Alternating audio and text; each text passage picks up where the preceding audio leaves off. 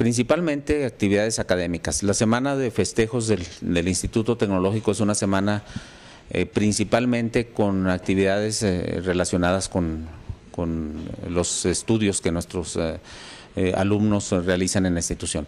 va a haber una serie de conferencias, una serie de talleres también, todos relacionados con las, las carreras que ofrecemos, la ingeniería forestal, este, la ingeniería informática y desde luego pues el, posgrado, la maestría en desarrollo forestal sustentable. Eh, esas son las actividades primarias, la, la, parte de las eh, conferencias y la parte de los talleres.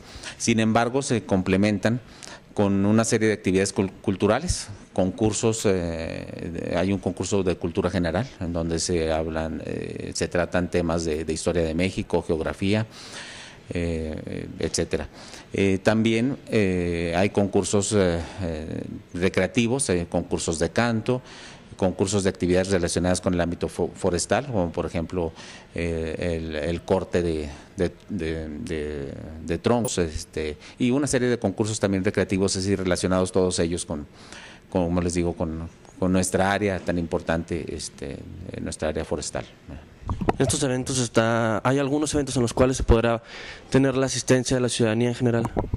Sí, de hecho hay, hay eh, eh, bueno, todos los eventos están en general puede pueden asistir todo todo todo mundo. Los los concursos están orientados para eh, nuestros estudiantes y algunos hay algunas invitaciones a estudiantes de, de bachilleratos, como por ejemplo pues del COBACH y de, y de CBTEF.